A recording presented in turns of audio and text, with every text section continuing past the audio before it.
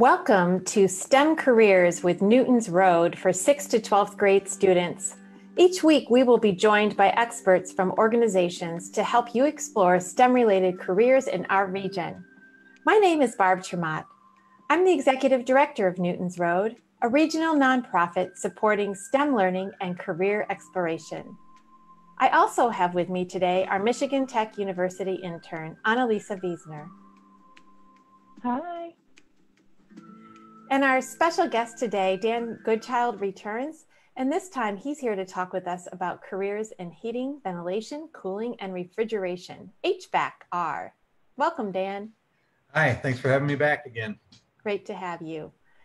This session will be recorded and available on our Newton's Road Facebook Live and YouTube channels. If you are joining us from Facebook Live right now, please ask questions for Dan or Newton's Road in the comment area. Before we get back to Dan, we're going to learn a little bit more about Newton's Road. And Annalisa is going to share our website.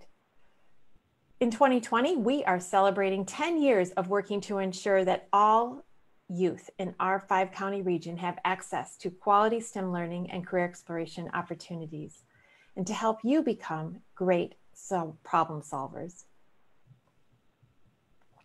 So as we scroll down our website, you'll see our mailing list. And this way, um, you will get all the uh, notices around our and other um, people that are supporting STEM learning and career education around our region.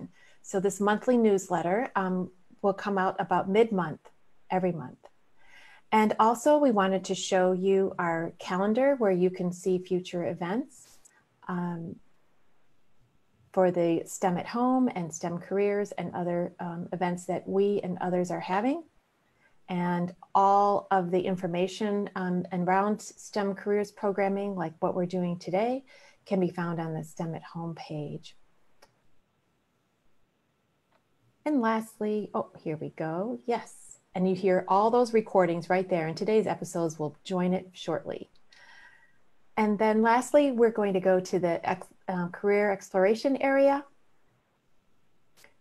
And here we have a collection of various resources, some of them used in schools, some of them for specialized careers, um, such as Going Pro, where we mm. might find um, information about today's career. So back to you, Dan, and learning all about HVAC. Thank you. All right, thank you.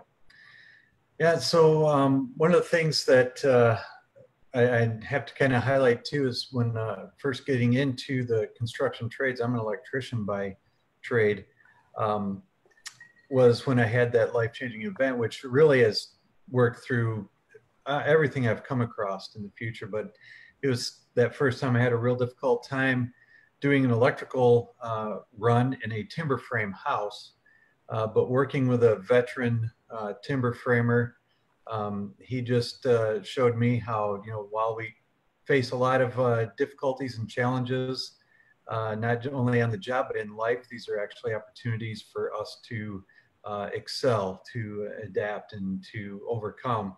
So that's just kind of something that I've uh, lived by uh, ever since I was a young electrician. And um, I've been passing that on to, you know, our students and stuff through that go through all of our uh, various programs at NMC.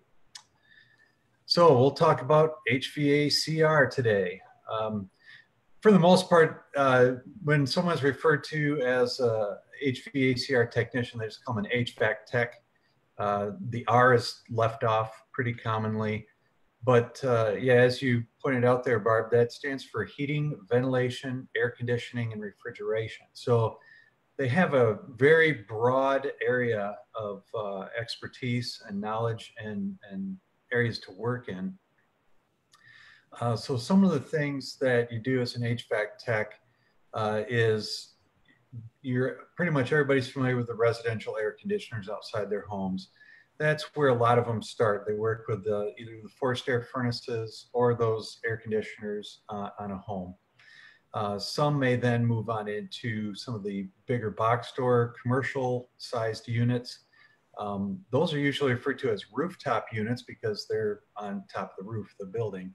And those uh, can be anywhere from the size of a regular household unit uh, to, for example, at the college, we have one that's big enough where like three or four people can actually walk inside of it and do the maintenance in there. So uh, the size of these component or units that provide our heating and cooling um, are, are, very different uh, and go uh, to some pretty incredible sizes. Um, they'll also be testing um, and, and uh, working on them. So there's uh, also a background of electrical along with an HVAC tech. Um, then they also have to understand airflow. Um, a lot of times they have to understand water flow. Uh, and then also how gases are compressed and condensed and, and uh, used in creating our heat or cooling our air. Um, and then of course, there's a lot of record keeping involved while a lot of the work can be done outside and a lot of it is hands-on, there's always that uh, record keeping uh, so that should you ever go back to a, the same place again, you know what has already been done. Uh, next slide, please. So uh, how, how do you know if this might be a good job for you? Well, like almost all the uh, careers in construction, if you like working with your hands, if you like solving problems, uh, working outdoors. And then also, uh, if you tend to be a person who likes to work more independently, um, kind of think for yourself, or if you uh, want to start your own business, that, that's a, that's a great job. Um, a lot of career opportunities, uh, everything from installers and technicians to um, maybe being someone who actually works for one of the product distribution companies and, and you can kind of be more specialized in uh, certain types of equipment and maybe want to be a distributor. Um, and then of course, everything from working on residential to commercial to industrial type of equipment. Next slide, please. Uh, so this is a picture of the front of our uh, Construction Skills Development Center. It's at the Aero Park Laboratories building on the um, Aero Park campus of NMC. Uh, it's about a 25,000 square foot building. Uh, most of that is dedicated to lab space. Um, we are uh, pretty proud about the fact that we, while we can offer some of our academic part of our class online, we still have students coming in to actually do the hands-on labs. So our lab is equipped with um, regular forced air furnaces, uh, air conditioners. Um, then we have uh, various types of ice machines, uh, a walk-in cooler, freezer, um, and even a uh, soft serve ice cream machine. Some things that you may run into uh, uh, every day out there, especially in this area where we have a lot of food service industry. Um, so also with uh, all of our construction uh, programs here, we have uh, experts in the field actually come in and teach for us. So they're working full time during the day and they serve as what we call an adjunct instructor uh, to come in and teach students at, at night uh, when most of our classes are held. So they're not having somebody teach who's just book smart. They got somebody who actually can show them uh, what they've done during the day and, and give them some actual field experience uh, in the HVAC industry. Next slide, please. So uh, again, another field that is really in uh, large demand uh, and also pays very well. Uh, I remember back in the oh, early 2000s there when we had that large uh, housing crash, basically a lot of the construction industry just um, pretty much folded up. And uh, if they didn't leave the area altogether, they were really hurting for work. HVAC was the only uh, trade that I was still getting calls for uh, looking for help because they were still servicing people's boilers and um, air conditioners and uh, heating. And so uh, there's just some things that people have to absolutely have and they're going to pay for it. And uh, because it's just one of those necessities. So, um, yeah, again, a, lot of uh, demand for uh, this uh, career field and, and it, that continues. Next slide, please.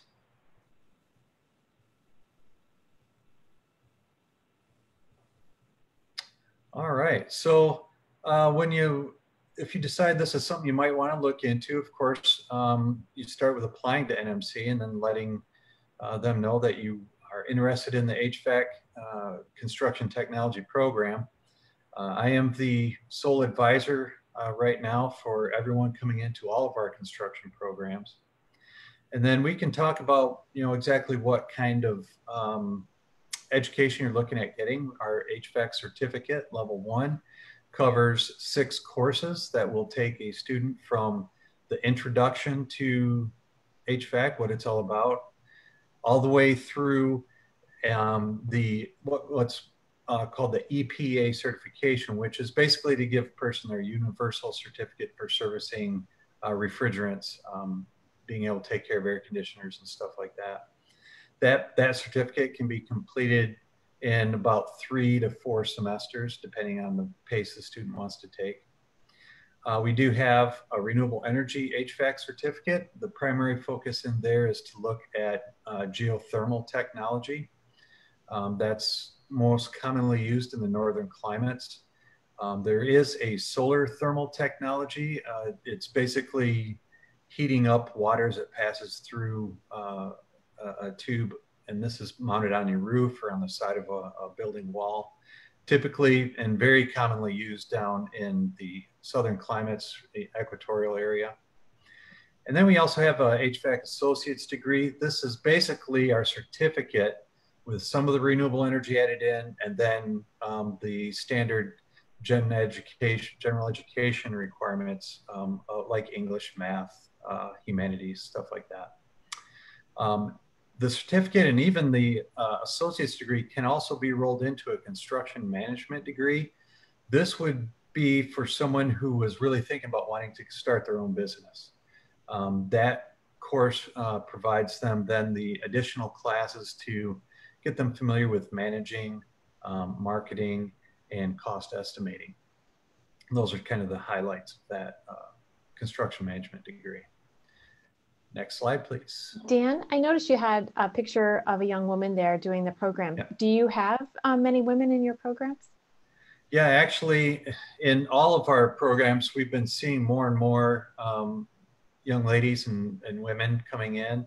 Um, and we've had several graduate. Uh, some have gone off. Uh, for example, there, a young lady went off to uh, in Windemuller. She's now supervising um, two or three job sites at a time. Uh, same with a gal who graduated uh, from our carpentry program. She is now the head of the trim carpentry department for uh, Bay Area construction here in town. Um, as far as the HVAC goes, uh, we have a couple ladies going through, uh, and they're still pretty much uh, out in the intra, you know, kind of in the uh, laborer side of work in the HVAC industry right now. They're they're not uh, actually running their own businesses or anything yet, but they're they're out there working. So great to hear. Thanks. Yeah. Um, so looking uh, at you know the geothermal and solar thermal uh, parts of this uh, career field in the um, listings for these through the Bureau of Labor and Statistics, they basically have them exactly the same as an HVAC tech. So, uh, and and that's what I've found is there's really not a specific uh, niche for these. It's it's HVAC technicians that are just have learned this technology and they're using it as part of their daily uh, routine. So um, pretty much whoever you hire on with it, they may very well have a geothermal, uh, especially up in this area, may have a geothermal uh, part of their um, company to, to handle that. So there's really no additional information as far as do they get paid more or less. It's just a different type of technology. Uh, next slide, please. So our uh, lab, um, we, like I said, typically each class meets one night a week. Um, this photo shows one small section of the whole lab area. That is the walk-in cooler and freezer, which students, uh, as they progress along, they'll get involved in um, how that actually operates. Um, we also have several trainers there that uh, have kind of a cutaway view that actually show how a, an air conditioner or um, uh, heating system works through the compression in, of gases. Uh, so it's pretty, pretty cool. Um, as with all of our construction programs here, we do have scholarships available. And uh, so there's an individual one through the Home Builders Association of Grand Traverse, as well as the Builders Exchange. And then through the uh, college foundation, we have several uh, scholarships available, and those range from you know $500 to over a thousand. Um, and that's the same with the HBA and Builders Exchange. Those scholarships are typically in the area of you know a thousand to two thousand dollars.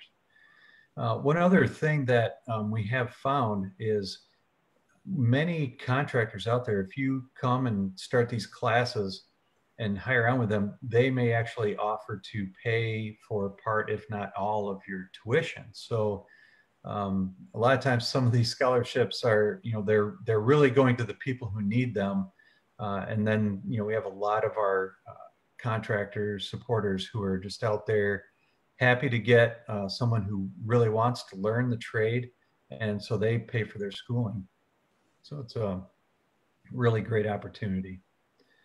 Next slide, please. Uh, so coming up in October, um, we're actually still kind of waiting to hear that um, we will have permission to run this this year under uh, COVID um, uh, parameters and, and working with the spacing and stuff. But this this is a two-day career exploration event, and HVAC is one of the areas that the students get to come through and actually have a chance to do a little um, copper soldering. Um, one thing I, that I, I, would mention about our HVAC program too that I didn't earlier is we've incorporated some plumbing skills in with the HVAC program um, we found many companies are not only doing all the heating, ventilation, air conditioning, but they're also doing plumbing. Mm-hmm. Uh, so having those skills as well um, really rounds you out as a, a full-blown HVAC tech. And uh, so when the kids come through on this uh, two-day event, um, and we we pretty much target eighth to tenth graders, although we've had uh, some 11th and 12th graders come through. Uh, they'll get to go through and try carpentry, welding. Uh, we have Elmer's come out with some mini excavators, um, some HVAC, and then also this year we're going to have a couple places where they can check out some automotive skills. So this is a, a really great fun event. Um, and I believe the HBA has some footage of uh, several of our past events uh, here with students going through. Where would they find out about it if it's going to run? Well, so what we're going to be doing as soon as we find that we have gotten the um, permission to run this, uh, we'll actually be sending out notifications to all the uh, schools in the area. And then HBA advertises it for us because uh, one of the um, uh, employees there, she has a good connection with the homeschooling uh, system. And um, basically, and then through Builders Exchange, everybody that I, I work closely with uh, every day, we all blast this out pretty heavily. So, and then um, the connections to it go through our, um, uh, it's be Katie Malone. She's our office manager for our whole tech division, and she gets everybody plugged in. Well, we'd be happy to put it on our calendar and our newsletter for you. Oh, great. Thank you. All right, and next slide. So the other uh, avenue for folks that is, it's this is still growing. Uh, right now we're in the marketing stage of this is the Build Your Life initiative. Um, right now uh, we're looking at having a broadcast through radio and social media beginning uh, late September, early October uh, to just bring awareness to the need of people to get into the construction trades. Um, not only that, but what a great opportunity uh, it is to uh, add these kind of professional skills uh, and be able to do things uh, not only for others, but even for yourself. If you just decide, you know, maybe I don't want to do this for a living, but gosh, I can uh, have these skills to do something on my own house or something. So um, what this, the overall pro, uh, program is going to look like is Build Your Life will give you the way to get into the trades, and then it'll show you uh, the whole path of where you can go to get educated, who's looking to take you on as uh, an intern or an apprentice, and then ultimately this is where you'll end up working. So basically a whole life cycle of um, getting into the into the trades and, and having it laid right out for you.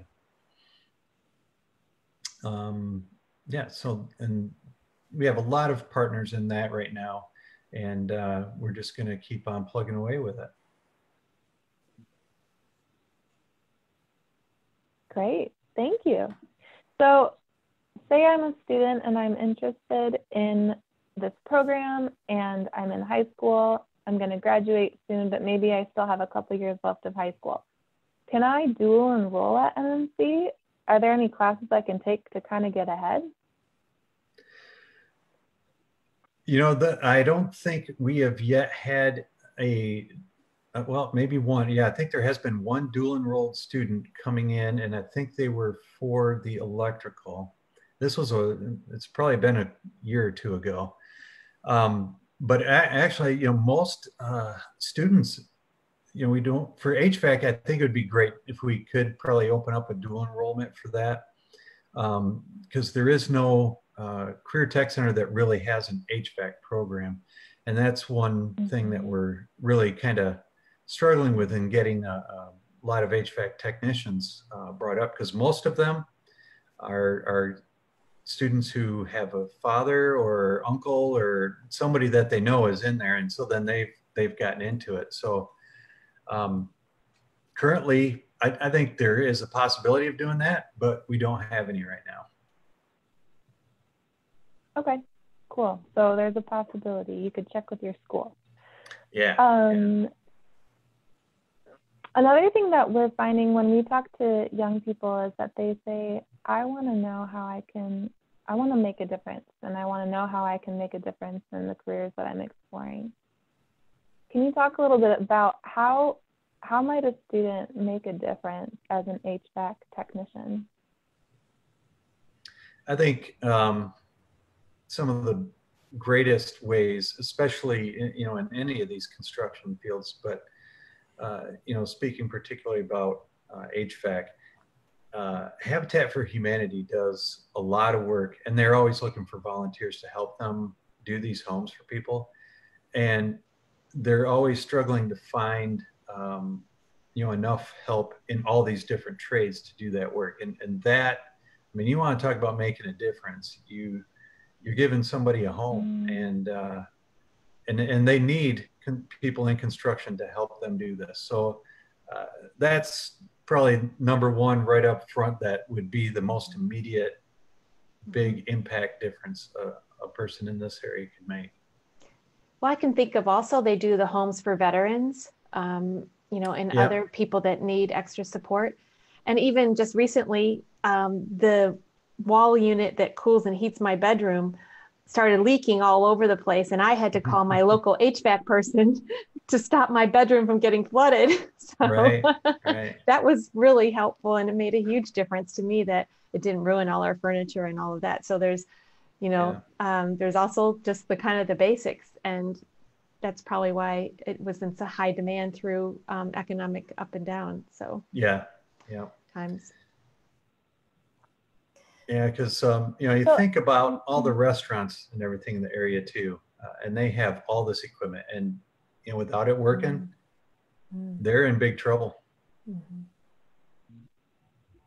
You know, so I was thinking that brings up another point, which is that things like this happen, accidents happen. Does an HVAC technician need to be on call? What are the, what are the hours like?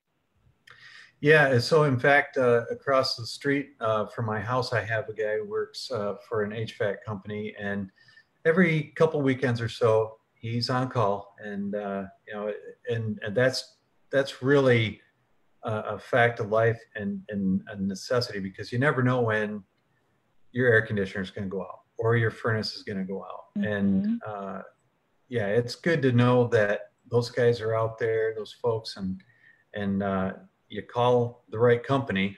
Um, typically, it's the bigger ones. They have the every weekend and, and at night on call. Uh, they'll be there. So this job would be good for somebody who they would expect to maybe be on call a couple days a week. Would you say? That well, you know, again, if it's with a bigger company, there may be like uh, they may be one week every couple months they're on call, um, something like that. Mm-hmm. But uh, yeah, you'd probably be wanting to be somebody who doesn't mind, uh, you know, occasionally having those flexible hours, getting up at 3 a.m. and having to run in and take care of something. And you're paid for those times in addition to your um, regular yeah, pay usually. Yeah, mm-hmm. typically when you go on call, um, the whole time that you're on call is is paid time. Mm-hmm. Now, when we have like a big storm come through, um, are the backup systems also like people have trouble with those working and or getting them started? Is that also HVAC um, tech that would support that? Well, you're probably going to have a combination of uh, things in that time because you'll probably have electricians involved, uh, mm-hmm. especially if power goes out. Um, because if a, a lot of refrigerate, most of refrigeration equipment runs off of electricity. So if it's one of those situations where a storm goes through, trees are knocked down, power lines go down, that's yeah most likely going to be your um, utility workers out there doing fixing the electrical. Typically, storms don't really take out HVAC equipment other than the electrical side of it.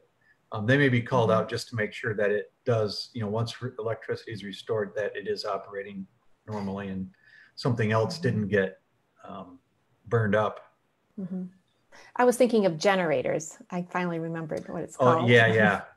yeah, most generators, uh, well, that those are pretty much fed by some kind of utility. So it may be like consumers or DTE, somebody like that who ends up checking those. Okay. So Dan, right. I'm going to school for mechanical engineering, and I know that mechanical engineers also work in HVAC and they may, might design the systems, etc. If if there was someone who wanted to be an HVAC engineer and be the one designing those systems, I imagine it would be a good idea if they maybe were a technician first and knew how, exactly how those systems work. Do you agree? Could could someone go from becoming a start with becoming an HVAC technician and eventually become an engineer? Yeah, well, the route like a lot of engineers take is they start with their associate's program, move into a bachelor's program, and then from there, um, you know, they may go on to a master's or just just see how far they can go with their uh, bachelor's in mechanical engineering. Um,